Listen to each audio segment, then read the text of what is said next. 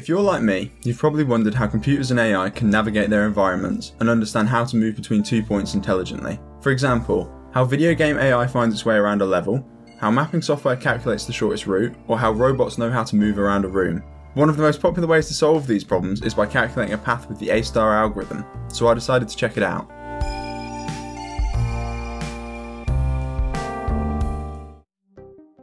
The A-star algorithm was first published in a paper in 1968 after being developed during the Shakey project, where a robot, Shakey, was required to calculate and follow a path around its environment. It has since become one of the most popular graph traversal algorithms. When provided a graph along with a node to begin from and a goal node to reach, this algorithm will calculate the minimum cost path from the start node through the graph to the goal node.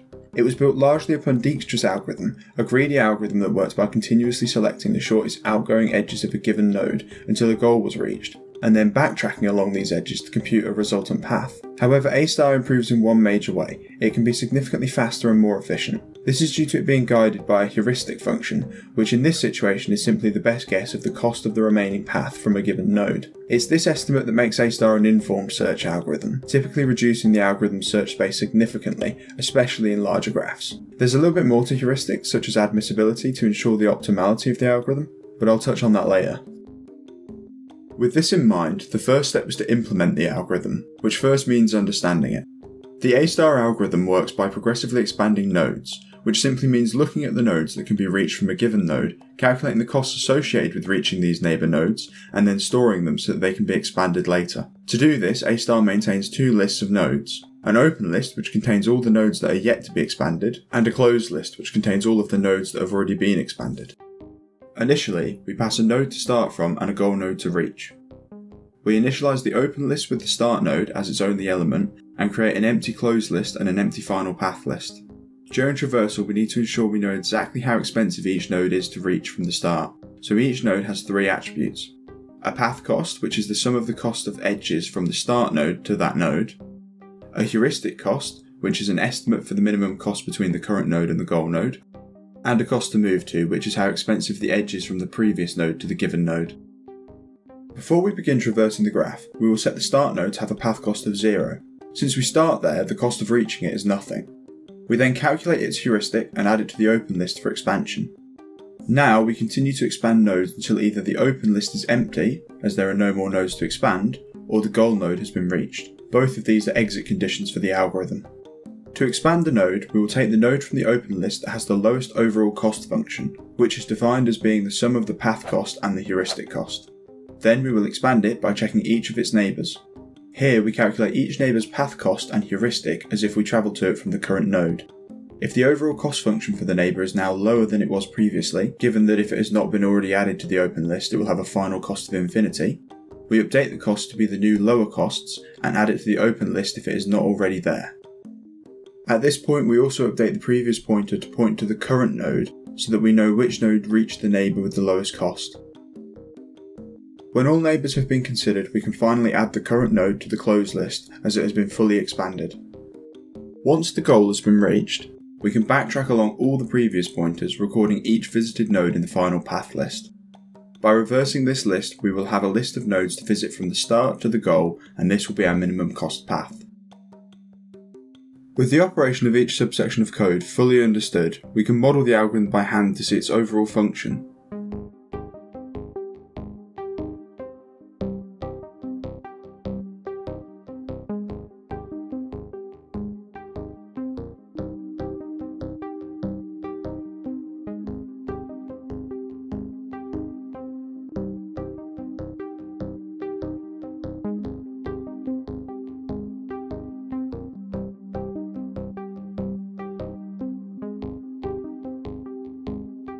With most of the groundwork already done, implementation was now rather simple.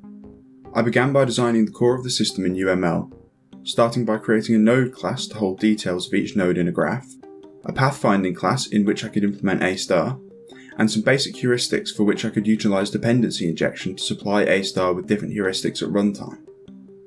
Early on during this design phase, I realised that changing the open list from an array to a priority queue would be a good idea. When maintaining the open list as an array or list object, finding the next lowest cost node has an ON time complexity, where n is the length of the open list, as we have to check each node in the open list in a single pass. However, by implementing a priority queue, we can neaten this code by simply enqueuing and dequeuing nodes and letting the priority queue determine which node to return. Within the priority queue itself, I implemented a min heap structure. This meant that finding the lowest cost node could be done in O1 time, as it would always be the top node of the tree, and then reordering the heap upon enqueuing or dequeuing could be done in O log n time, which is much faster than the ON solution when using an array. Now that I had A star implemented, I could move on to use it in a more visual way. Since A star is generally explained and represented using either a digraph or grid, the natural next step was to start by building a grid so that I had a basis to demonstrate the algorithm. I started by creating an IMAP interface. This specified that a map should be able to return a node closest to a given three-dimensional vector, as well as return a list of all nodes. I then implemented this in a grid map class where I generated a graphical grid from a predefined 2D array of characters. I felt this was a nice way to represent the grid, as it meant that it was easy to create and also enabled easy expansion. With this grid being successfully generated, I then added the path cost, heuristic cost and final cost values on each grid square as you can see from the example in the top left, to show how the cost of each node is updated by the end of the algorithm. Now it was time to add in an agent that would actually use the A-star algorithm to traverse the grid. For this I set up an abstract agent class that would handle moving the agent to the next node in the path, resetting the agent ready to traverse another path, and some other useful functions such as pausing. This class also featured two abstract methods for finding a path between two nodes to be implemented in my Agent2D grid class, which would be the implementation of the agent for use on a 2D grid. This was driven by a simple controller class that called the agent to find a path between the top left and bottom right grid square, which the agent would calculate using the A-star algorithm and whatever heuristic was passed to it, which in this case was just Euclidean distance.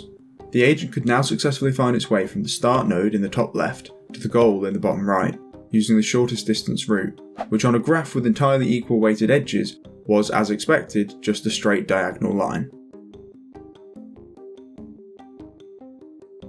So far I've been using the cost of a node or edge to be a measure of distance to ensure that the path calculated is the shortest. This might not always be the desired outcome though, and it is important to state clearly that the A-star algorithm is searching for a minimum cost path, not necessarily the shortest distance path. It might be preferable to choose a slightly longer path that provides other benefits. For example, it might be better to travel across roads and bridges rather than water because driving would be faster than swimming, making the time to complete the path shorter even though the distance is greater. Or it might be beneficial to take a path that has more of any desired attribute, such as a more gradual incline, roads where the speed limit is higher, or a path that yields more of a valuable resource. Therefore, we can manipulate the cost function to account for not only distance, but also any other attributes we wish to minimise or maximise along our route, by increasing the cost for undesirable attributes and decreasing it for desirable ones proportional to the attribute's worth. It's worth noting here that this might affect the admissibility of your chosen heuristic if you start decreasing the cost of nodes, leading you to implementing a custom one that can account for these decreases in cost. The admissibility of a heuristic relies on the fact that it is getting a minimum cost to a goal. This means that when you calculate the heuristic at a given node, the remaining cost of the potential path to the goal will be at least the value of the heuristic, but likely more than it. As the algorithm evaluates nodes, it uses this to estimate if the node is getting closer to the goal and if the remaining path is likely to be shorter than from other nodes, ultimately determining if it gets expanded next or not. While the heuristic guesses a remaining cost that is less than or equal to the actual cost, the algorithm will know that by expanding this node, there will follow a cost of at least the value of the heuristic. If it is higher, then the path cost will increase, which will increase the final cost and prevent further expansion. However, if the cost is actually lower than the heuristic predicted, it is possible that the algorithm does not expand nodes that it should, as it will have assumed that the path they will go on to create to be of a higher final cost than it actually would be leading to suboptimal nodes being expanded first and potentially a suboptimal path being reached before an optimal one. We can see this by looking at our previous A-star visualization. By using an inadmissible heuristic, the following path is calculated. Now recall that the optimal path was actually this one, and the importance of the admissibility of a heuristic is immediately evident. Keeping in mind that I had to ensure my heuristics remained admissible, to show how additional costs added to certain edges can affect the final path calculated, I decided to include terrain in the grid in the form of different coloured squares. In code, these are just different characters in the grid which have different costs associated with them when the node objects are created. By manipulating the values of certain terrain types, I can actually show how this changes the nodes that are expanded and the final cost that is calculated. I also thought it best that to fully understand the final use of this, I give our agent a little bit of life. So I decided that perhaps in this situation, a penguin was making his way across an ice field, trying to find the shortest route back home. Let's assume that the blue squares are water, the grey squares are melting ice, and the white squares are just normal ice. When the cost of travelling across water was set to 20, melting ice to 5, and normal ice to 1, the shortest route was no longer a straight diagonal. The algorithm avoided going across the water because it resulted in a more expensive path, and instead went across the melting ice because despite its cost, the path was still cheaper than going around or swimming through the water. It can be a little bit difficult to interpret the results of the algorithm from just these numbers alone, so I decided to implement a simple gradient feature that would colour each node red to green depending on its value for path cost or heuristic. A higher value would be indicated by red and a lower value by green. Using this, it is much easier to visualise how the path cost increases through each node expanded by the algorithm, and how the heuristic changes for each node too. We can also see more clearly now which nodes the algorithm does not attempt to expand, as these are left with their original colourings. If we now assume that travelling across melting ice and water is slower than we previously thought and increase their cost to 25, we can now see how the path cost changes across the grid and how it is actually cheaper now for our penguin to travel around the terrain on normal ice than to attempt swimming or walking across melting ice. This visualization was pretty interesting, but a bit basic, so I figured it'd be fun to peek under the hood just a little bit more and create a slightly more in-depth visualization, this time in 3D. So I swapped all of the 2D sprites for sphere meshes, said goodbye to our penguin friend for now, and started work. Since I'd already technically been working in 3D space, albeit with the z component of the 3D vectors set to 0, this swap meant everything still worked as expected. However, I did create another IMAP implementation called a node map, since I was no longer necessarily working in a grid, and so storing nodes in a 2D array no longer made sense. The one feature that didn't carry over so well was the visualization tools I'd built. Understanding how each of the grid squares was connected to its neighbours in 2D was simple, but in a 3D graph where node placement could be much less uniform, it was not so simple. Initially I drew straight lines between nodes to represent the graph edges, but it was still difficult to identify the direction of these edges, and so I eventually settled on implementing coloured quadratic Bezier curves, which look a lot nicer. I also added a speed slider and a heuristic drop down option in the top right, so that I could speed up the demonstration and change heuristics to view their effects. Since I wanted a slightly deeper visualization of A star this time, I decided I would create a pathfinding snapshot class, which would hold a deep copy of all the data that A star used at each step of the algorithm. These snapshots would then be stored in an array so that I had an exact record of the costs of each node, the heuristic values of each node, and which nodes were in the open and closed list at every point in the algorithm. Using this data in a visualizer class, I could display the data on screen, step by step, exactly as the algorithm processed it when it calculated the path. The visualizer class was responsible for changing the colour of nodes to indicate which nodes were in the open list or closed list, that is orange for nodes in the closed list and purple for those in the open list. In addition, the visualizer also displayed some white visualization lines to show the neighbours that were added to the open list or had a cost update as the current node was being expanded and some black lines which pointed in the direction of each node's back pointer. This provides an interesting map of sorts when the visualization ends, showing how the algorithm travelled through the graph.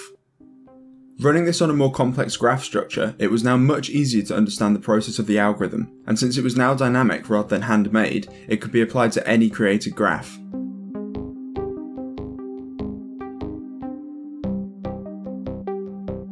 Now you've probably noticed that so far nodes have been placed by hand, which is less than ideal, especially for larger graphs or real world use cases. Therefore, since I was happy with the visualizer, I decided to apply the project to a more complex graph in the form of a mesh. First I wrote a script that would take the vertices of a mesh and create nodes from them. Then it would add neighbours to each node based on the triangles of the mesh, so that each node was connected in the same way that the vertices were connected. For example, take this mesh that I created in Blender, Using this graph, we can now send the agent around the mesh by clicking the node we want them to go to, and they will find their way there.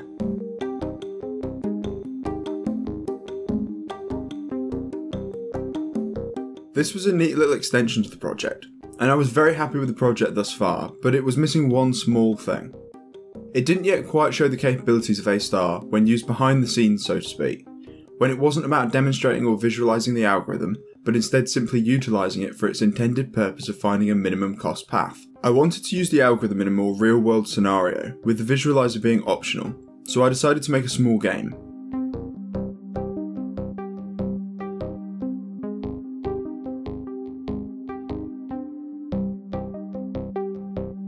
This time, our little penguin friend isn't looking for his way back home, but instead, he's trying to collect all of the coins in the area with us to guide him. Since I'm certainly no modeller, I started by building a small 3D grid for him to operate on, and placed our friend on it. I then added in an ocean effect to try and sell the scene a little bit more, and created a short script to generate some coins for collecting. For now, I will hide all of the behind the scenes details to give a better idea of how this algorithm could be used in practice. Now what we need to do is tell him where the coins are by clicking on the node, and he'll find the best way there all by himself.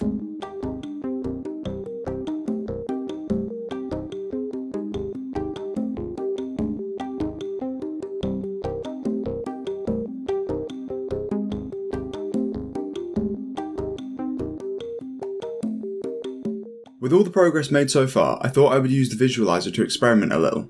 So I added in a node inspector window to show us the values associated with each node that we hover over, and started testing out the different heuristics.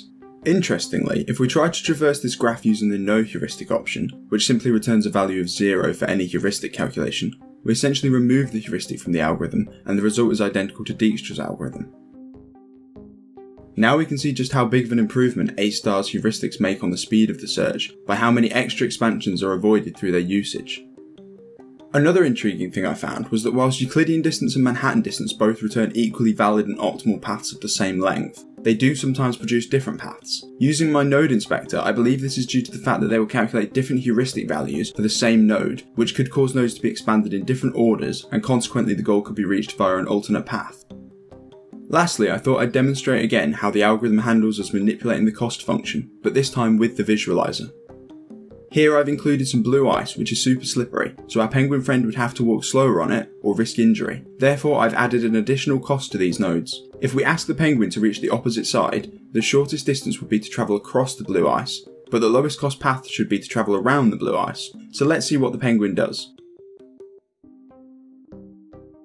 Once again, we can observe that the algorithm avoids the more expensive nodes where possible to minimise the final cost of the resulting path, just as we expected. So there we have it, the A-star algorithm. There's still plenty more to discover about this algorithm as well as other pathfinding algorithms such as jump point search, D-star and LPA star, and I can still see a few obvious improvements to this project, such as generating a nav mesh to reduce memory consumption and increase the speed of finding paths on larger meshes. So I'd like to revisit this project in the future to expand on it. But for now, I'm happy with the outcome, so thanks for watching.